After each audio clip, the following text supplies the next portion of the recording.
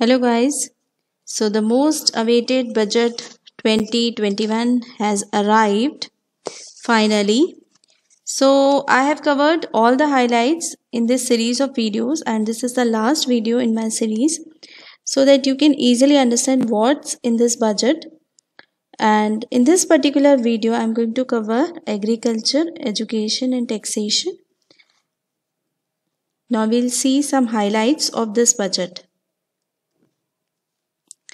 So, uh, uh, Finance Minister uh, Nirmala Sitharaman has defined some pillars of this budget, which are uh, health and well-being, physical and financial capital and infrastructure, inclusive development for aspiring India, human capital, innovation and R&D, and also minimum government and maximum governance.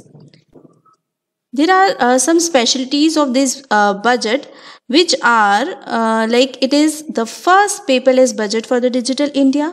This is the first budget post corona pandemic which is very challenging and first budget of the new decade a budget that will help for economy reset. So uh, now we come to this third pillar which is inclusive development means uh, you know covering all the sectors of the society.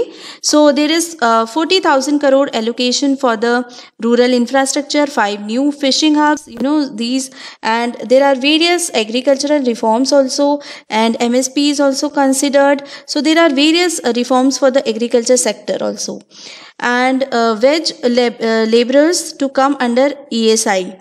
Uh, as you all know, there there was a you know uh, migration problem. It was very visible uh, during this pandemic. So now there is a registration portal for all laborers and then to attract NRI investors. Residency limit for NRIs is now 120 days. It is going to attract the NRI investors. Then there is 15,700 crore for MSME sector. Now human capital. So uh, there is a mission of, you know, skill India. So uh, for that, uh, and uh, recently uh, national education policy uh, also it is uh, it has been announced. So 15000 schools to be added under this nep that is national education policy. Then a central university is going to be established in leh.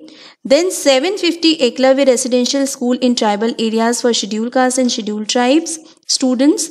And then 3000 uh, crore for skill india. And there are you know many uh, collaborations with different uh, countries also like japan and uae for skill development. And so that you know uh, the youth of india can learn various different skills then there is higher education commission to be set up. Uh, it will be like a uh, you know umbrella organization for accreditation and other activities of higher educational institutions and universities. Then there will be 100 new Sainik school with partnership of ngos so this is all about the human capital development and then about innovation and research and development. So we know that India is a very talented country and there are various people who are involved in this innovation and research and development. There are many scientists and you know many people uh, as uh, otherwise how would uh, we be able to uh, you know um, this um, uh, you know make this um, vaccine of corona uh, then uh, 1500 crore financial incentives to promote digital payment, the National Language Translation Mission and 30,000 crore for research and development. Then minimum government and maximum governance.